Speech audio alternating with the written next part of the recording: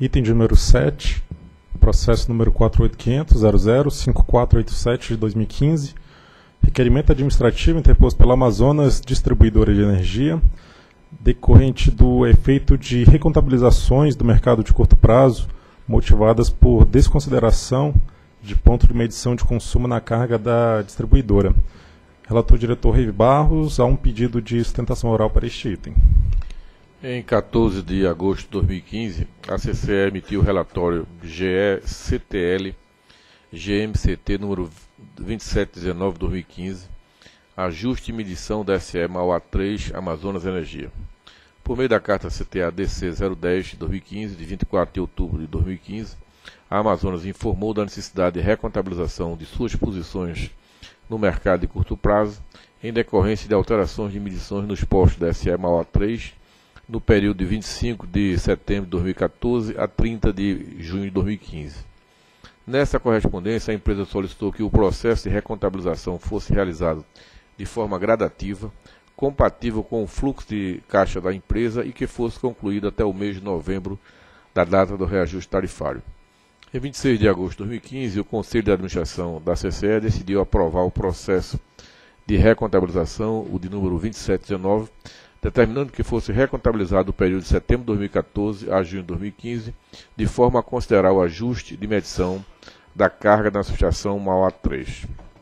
Em 1 de setembro de 2015, em resposta à correspondência CTA-DC 010-2015, a CCE informou por meio da carta CCE 1955-2015 que os efeitos financeiros e energéticos utilizados no processo de reajuste tarifário da Amazônia Energia estariam disponíveis antes de novembro de 2015, conforme solicitado pela empresa, segundo o cronograma de recontabilização apresentado na tabela 1.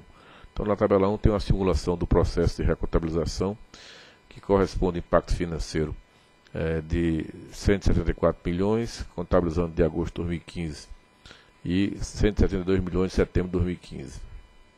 Em relação a. Em 19 de outubro de 2015, a Amazonas protocolou na ANEL a correspondência CTA PRE 059, na qual relata o impacto decorrente do processo de recontabilização 2719 e solicita o diferimento do pagamento da despesa de R$ 173.926.530,25, relativa à segunda parcela da recontabilização que entraria na contabilização de setembro até o próximo processo de reajuste tarifário previsto para novembro de 2015.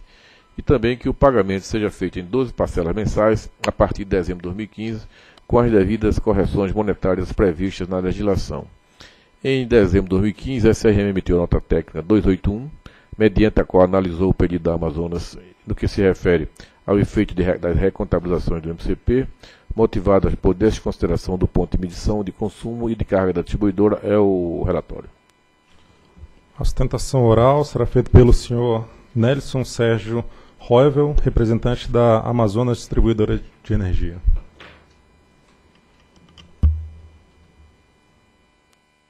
Boa tarde a todos, senhores diretores. É, vou usar esse pequeno espaço de tempo que temos aqui apenas para é, levantar alguns pontos relativos a essa questão da recontabilização desse valor na, na Amazonas Energia. É, é, verdade, sim, que este valor é, está medido, está, está conferido pela CCE, o valor é este mesmo são, seriam, nós temos na cabeça assim, duas parcelas de 174, a gente vê que é 174, 173 e alguma coisa, e que a Amazonas pediu para que fosse efetivamente colocado até o processo de revisão de reajuste tarifário de novembro de 2015. É, e que a primeira parcela, dos 174, efetivamente a Amazonas pagou, foi liquidado, restando a segunda de 173 e alguma coisa como aqui foi colocado, 173,900, que é 174. Bem, é, ocorre que, no caso da, da, da, da Amazonas Energia, parte dessa liquida, da, da, liquidação dessas energias que ela tem lá na CCE é, vem, vinha trazendo a ela um recurso positivo de caixa, o que, pela venda dessa energia lá no curto prazo, vinha fazendo, dá para fazer a compensação disso e pagar nessas, nessas duas parcelas. Entretanto, nessa segunda parcela, é, a modificação do preço e tudo mais, nós não conseguimos fazer essa compensação. e não conseguimos liquidar também lá é, a, a, nossa conta na CCE. Bem, é, o que nós pleiteamos aqui fosse que esses 174 milhões fosse dividido em 12 parcelas depois do reajuste para que nós pudéssemos ter a compensação tarifária. É, não que isso esteja na tarifa, não está. Nós temos que continuar vendendo aquela energia, liquidando e buscando caixa para pagar essa, essa, essas parcelas. Nós fizemos esse pedido com base em algo semelhante que já havia acontecido na CEPISA no ano passado e que essa diretoria concedeu a nós esse parcelamento em 12 vezes depois do reajuste tarifário de agosto.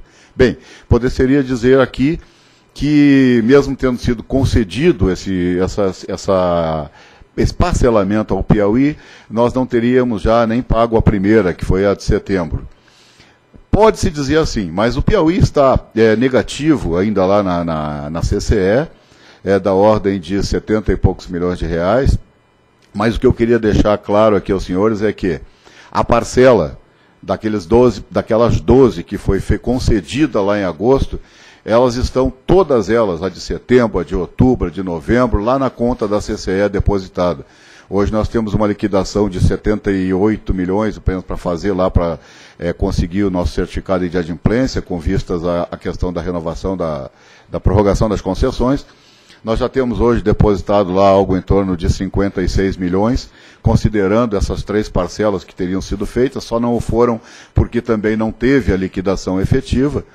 E, e, e, também outros fatores, como compra de energia, MACs e etc., afetaram esses valores da CEPISA, que levaram esse valor para 78 milhões. Mas as parcelas lá estão depositadas.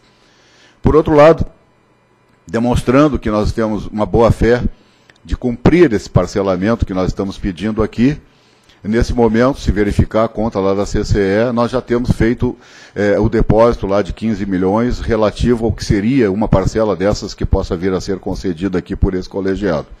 Então nós já fizemos esse pequeno depósito, está lá, nós vamos liquidar essa conta. O fato é que os 174 milhões de uma única parcela nós não temos condições de pagar. Nós pagamos o que nós podíamos fazer, nós colocamos a conta CR em dia já ontem, depositamos 12 milhões lá, já temos depósito de mais 15 milhões dessa primeira possível primeira parcela. E estamos buscando a nossa adimplência junto à junto a, a, a, ANEEL por conta justamente da, so, da, da sobrevivência da Amazonas Energia, que é a prorrogação de suas concessões. É, pagar 10 ou 12 milhões no Piauí é uma dificuldade maior do que pagar 10 ou 12 milhões na Amazonas. Haja visto uh, o volume de receita de uma empresa, o volume de receita da outra. Agora, entretanto, pagar duas parcelas de 174 milhões, que dá aí 348 milhões de reais, é quase toda a parcela B da Amazonas, que hoje é de 381 milhões de reais reconhecido na tarifa. Então, passa a ser impossível para nós. Nós temos aí o pedido de revisão tarifária extraordinária é, protocolado na ANEL desde algum tempo, comprovando que essa parcela B não é suficiente para é, manter a empresa manter a empresa pagando todos os seus compromissos e principalmente tendo que tirar 348 milhões em duas vezes desta parcela B para pagar é, este valor lá. O que nós estamos pedindo sim é que se parcele então esse valor é, e, e, assumindo aqui o compromisso de que serão honradas todas as parcelas, já visto que a primeira já estaria lá depositada de alguma forma, mesmo sem ter sido concedido o parcelamento. Então, é, e, e, queremos dizer também que no mesmo caso, como o mesmo caso do Piauí, e, é, essa questão veio de um ponto de medição que estava lá sendo lido para nós, eu sei, diria assim, é obrigação da empresa cuidar disso. Sim, é obrigação da empresa cuidar disso. Mas em determinado momento isso não foi, não aconteceu, houve, não, eu não sei exatamente o que houve, mas o fato é que para nós esse ponto estava ativo e sendo medido. O programa da CCE, assim como no Piauí, é que não estava contabilizando esse valor lá na hora de, de na hora de fazer as suas contas e fechar a contabilização para apresentar a conta da liquidação na, nos meses é, que foram compreendidos aqui, 10 meses nessa data de início e fim. Então esse é o nosso pleito E eu rogo essa diretoria que aprove esse parcelamento, porque isso depende, para isso depende a nossa, a nossa, levantar a nossa certidão positiva ou negativa, como se queira, depende de que lado está se olhando, mas para que nós possamos aí levar o processo de, de renovação, de prorrogação das concessões da Amazonas e o Piauí também nós vamos, nós estamos fazendo todos os esforços para liquidar esses 70 milhões que lá estão negativos. Haja visto que nós já estamos com 56 milhões lá depositados na conta da CCE. Ok, obrigado, era isso. Ok, Procuradoria. Procuradoria opina pela presunção de juridicidade da decisão a ser proferida pela diretoria. O pleito da Amazonas tem como principal fundamento na alegada incapacidade de pagamento do resultado do MCP decorrente da recontabilização no período de setembro de 2014 a junho de 2015, eh, tendo em vista a não consideração do elevado volume de consumo de carga da distribuidora, em razão de não ter sido finalizado o processo de modelagem de dois pontos de medição na SE maior 3. Dentre as alegações, a distribuidora ressalta que, embora os referidos pontos de medição tenham sido cadastrados do sistema SOMA da CCE, com vigência solicitada a partir de maio de 2014, os mesmos foram comissionados e entraram em operação em 24 de setembro de 2014. Entretanto, houve prejuízo no ato do cadastro da, do SCDE, ocasionando a falta de conectividade que impediu o registro das medições no sistema da CCE. Informa o agente que no final de maio de 2015 percebeu a falha e concluiu a regularização dos pontos em junho de 2015. Conforme dispõe o artigo 51 da Convenção de Comercialização de Energia Elétrica, instituída pela Zona Normativa 109-2004, e aí nós estamos elencando esse artigo, e no parágrafo 3 do mesmo artigo estabelece que o processamento da recontabilização será realizado pela CCE, caso julgado procedente, conforme o cronograma a ser definido, a ser definido pelo Conselho de Administração, observando o estabelecido em procedimentos de comercialização específico. E no submódulo 5.1, contabilização e recontabilização dos PDCs vigente desde 4 de fevereiro de 2013, extrai as seguintes premissas. A primeira, as recontabilizações seguem o cronograma a ser definido pelo CAD da CCE. Segundo, os ajustes provenientes de cada recontabilização são atualizados monitoriamente na base do IGPM é, da Fundação Getúlio Vargas. Antes de aprovado o processo de recontabilização, este pode ser sobrestado por até 60 dias para realização de diligências e a CCE deve comunicar ao agente a respeito da disponibilização de resultados das recontabilizações. Em 14 de agosto de 2015, conforme relatório técnico, o RTGETCL GMCT, o 2719 de 2015, a Gerência Executiva de Contabilização e Liquidação, GSCTL, e a Gerência de Medição Contábil, a GMCT da CCE, recomendaram ao Conselho de Administração da CCE a aprovação do processo de recontabilização em questão para corrigir a contabilização do consumo da Amazonas. A tabela 2 expressa os valores em base histórica, sem as atualizações monetárias, com base no IGPM da Fundação Getúlio Vargas, e leva em consideração apenas o efeito do ajuste das cargas da Amazonas contabilizada originalmente em menor montante. Então nós temos aí os períodos recontabilizados e os respectivos valores, e se implica no total negativo de 346 milhões 034 mil e 300 reais e 60 centavos. Em 24 de agosto de 2015, por meio da carta CTA DC 010-2015, a Amazonas informou ter solicitado a recontabilização no mercado de curto prazo para o período de 25 de setembro a 30 de junho de 2015 dos pontos de medição de Mauá 3. E nessa correspondência, a empresa solicitou que o processo de recontabilização seja realizado de forma gradativa, compatível com o fluxo de caixa da empresa e que seja concluído até o mês de novembro, data do reajuste tarifário.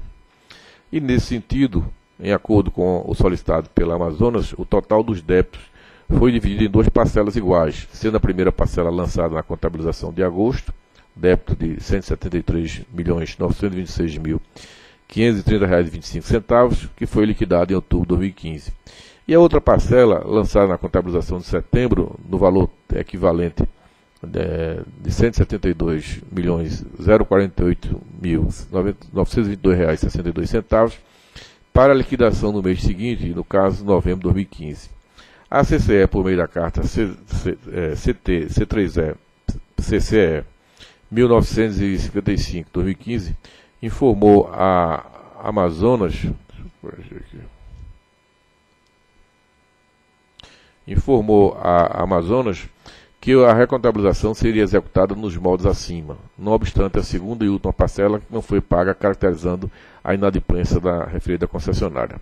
Por fim, conforme indicado na nota técnica 281 da SRM, o efeito da inadimplência da Amazonas, caso não tivesse sido suspenso por outros motivos, o processo de crédito da liquidação financeira no mercado de curto prazo seria suportado por todos os agentes credores na contabilização de setembro de 2015, com liquidação em eh, novembro de 2015, onde se destacam como maiores impactos algumas distribuidoras com grandes cargas, conforme se destaca o relatório técnico da CCE, o 2719. O pedido da Amazonas é semelhante ao realizado pela CEPISA no processo 48.500.002770-2015-177, uma vez que ambos se referem a parcelamentos de recontabilização motivada por informações de consumos inferiores ao devido.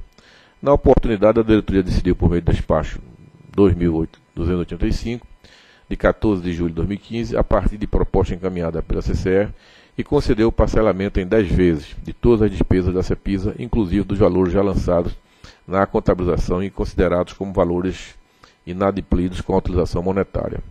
Conforme avaliado no processo da CEPISA, acatar o pleito do parcelamento apresentado como ponto positivo o menor risco de inadimplência por parte da distribuidora, pois poderá diluir a despesa em parcelas, compatibilizando com os recebidos tarifários. Contudo, apresenta o impacto negativo de os agentes impactados negativamente se submeterem à atualização monetária estabelecida pela ANEL.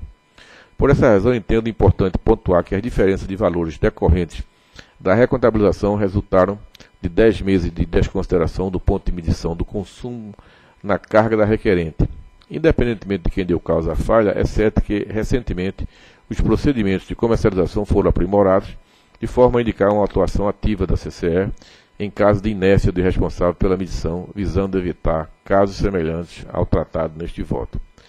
Além disso, a utilização de informações incorretas sobre o consumo da carga de distribuidora levou a distorções nos valores de CVA. Isso significa que a cobertura tarifária para a Amazônia seria diferente caso não tivesse ocorrido o problema com as informações do ponto de medição. Observa ainda que os montantes não contabilizados como consumo repercutiram positivamente na exposição da Amazônia no mercado de curto prazo, representando receitas extraordinárias e indevidas já recebidas pela Amazonas.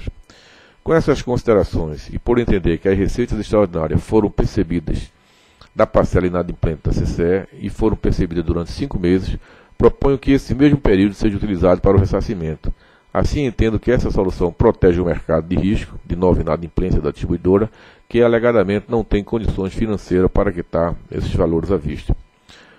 Pelo exposto nesse voto, entendo que, se possível, acatar o requerimento da Amazonas no sentido de determinar que a CCE exclua da contabilização de setembro de 2015 e inclua na contabilização de dezembro de 2015 e abril de 2016 iguais parcelas decorrentes dos ajustes de medição de consumo ocorridos nos meses de novembro e dezembro de 2014 e fevereiro e março e abril de 2015. Adicionalmente, entendo pertinente encaminhar o processo para fiscalização, a fim de que sejam apuradas em maior detalhes as responsabilidades pelas falhas no processo de cadastramento do ponto de medição, DSMO 3, trafo TR1 do lado de alta tensão em 138 kV, e o TR2 da SMO 3 também no o segundo trafo no lado de, de alta tensão em 118 kV, que levou ao processo de recontabilização número 2719, aplicando, se necessário, as penalidades cabíveis.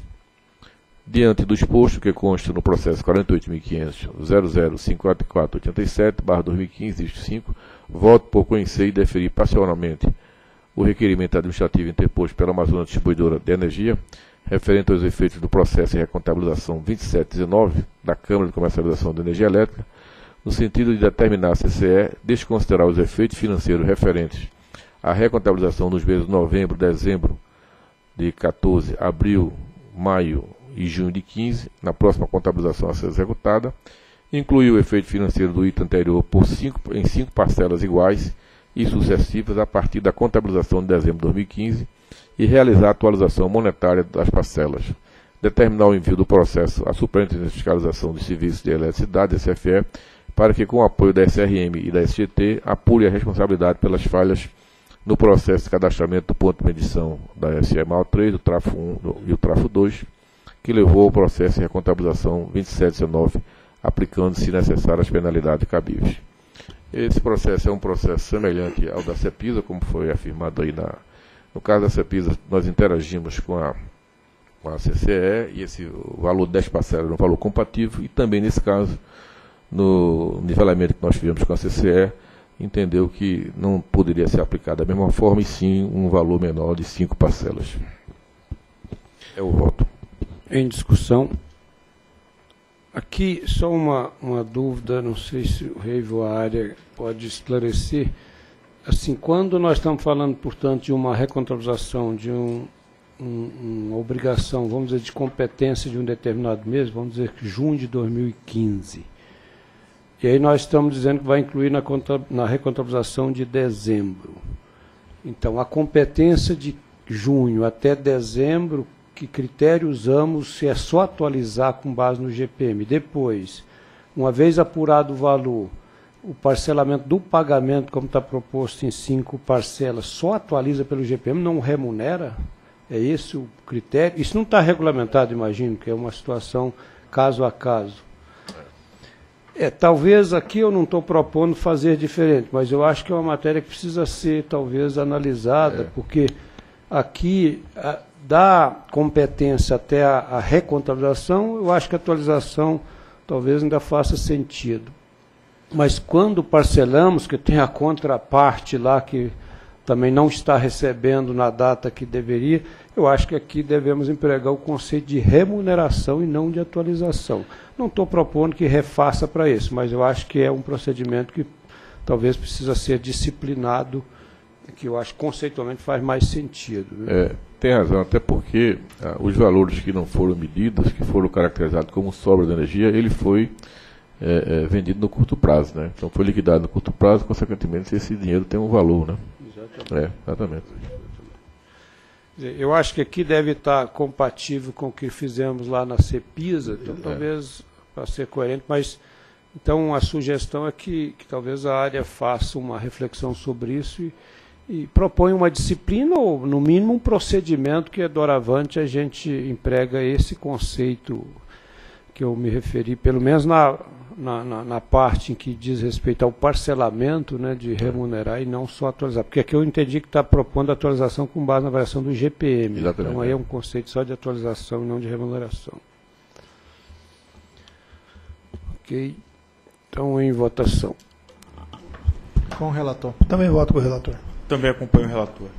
Também voto com o relator. Proclamo então que a diretoria decidiu por conhecer e deferir parcialmente o requerimento administrativo interposto pela Amazonas Distribuidora de Energia, referente aos efeitos do processo de recontabilização 2719 da CCE, no sentido de determinar a CCE é, desconsiderar os efeitos financeiros referentes à recontabilização dos meses de novembro e dezembro de 2014, abril, maio e junho de 2015, na próxima contabilização a ser executada, incluir o efeito financeiro do item anterior em cinco parcelas iguais e sucessivas a partir da contabilização de dezembro de 2015 e realizar a atualização monetária das parcelas, determinar o envio do processo às fiscalizações para que sejam para a fiscalização à SFE para que seja averiguado essa questão então da falha nesse ponto de medição, na forma proposta pelo relator. Próximo item.